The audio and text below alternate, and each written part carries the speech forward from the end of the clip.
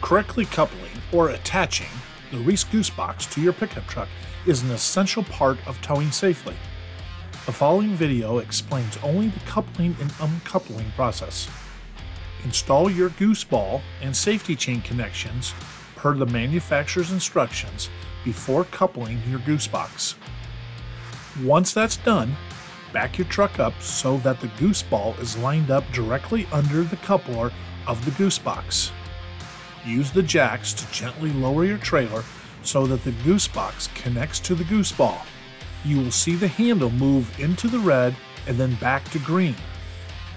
This indicates that your goose box is securely connected. The handle is in the locked position and you can finish your typical hookup procedure. When you want to disconnect, make sure there is no padlock on the coupler. Then pull the cable, moving the handle into the red and hook it into the hold open tab. Then use the jacks to raise the trailer off the ball. Be sure to complete the rest of your unhooking procedure and you're done. For more information on all the great products from Reese, visit reeseproducts.com.